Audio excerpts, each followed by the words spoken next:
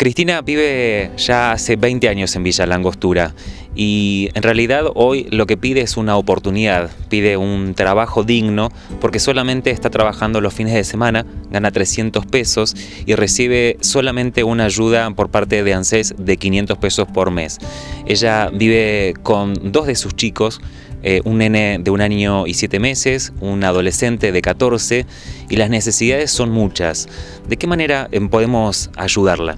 Bueno, lo importante es destacar que hoy Cristina no puede llegar a fin de mes y me parece que todos los vecinos la podríamos ayudar dándole comida, dándole pañales para los chicos, ropa, abrigo y creo que contribuyendo entre todos podemos llegar a, a lograr que ella viva un poco mejor. Ya se han comunicado la gente de Red Voluntaria en Villa Langostura, que bueno, están trabajando eh, también como para poder ayudarla.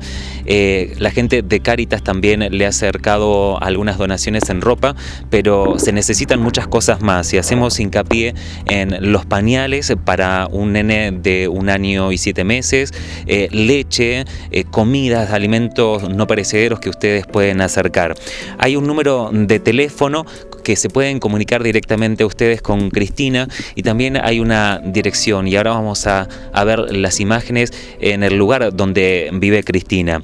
Eh, mañana le van a cortar la luz. ¿Eh? Esto es lo que le informaron hoy porque ya tiene un aviso de suspensión de energía eléctrica y no sabe si el fin de semana va a tener luz. Así que bueno, hacemos hincapié eh, y vamos a dar el número de teléfono como para que ustedes se puedan comunicar y si entre todos le podemos dar una mano. Este es el número.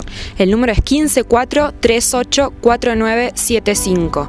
154384975. Ahí se pueden comunicar con Cristina para poder ayudarla. La dirección es Olivero 915 en el barrio Las Margaritas. Para que ustedes se ubiquen, está detrás de eh, la biblioteca del barrio El Mallín. Bueno, allí la van a encontrar a Cristina y la pueden ayudar.